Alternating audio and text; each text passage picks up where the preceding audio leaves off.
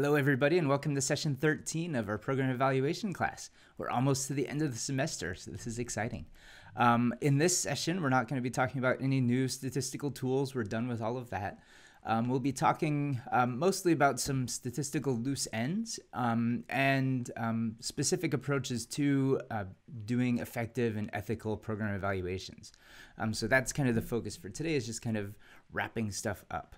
Um, so let's go ahead and go over to the slides and we'll see what we'll be talking about today.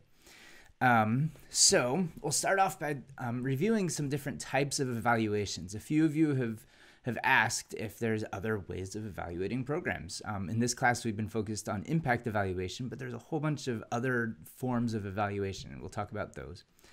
Um, then we'll talk about um, kind of a review of all of the Statsy tools that we've just learned. Um, and we'll divide these different tools into two different um, worlds of causal inference, um, where you have model-based inference and design-based inference.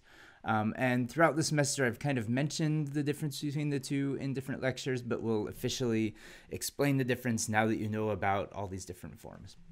And then we'll end with a discussion about how to do ethical and open evaluations and how to adopt the best practices of open science to make sure that your evaluations are good and sound and don't harm people um, and just follow good general best practices and guidelines. So let's go ahead and get started.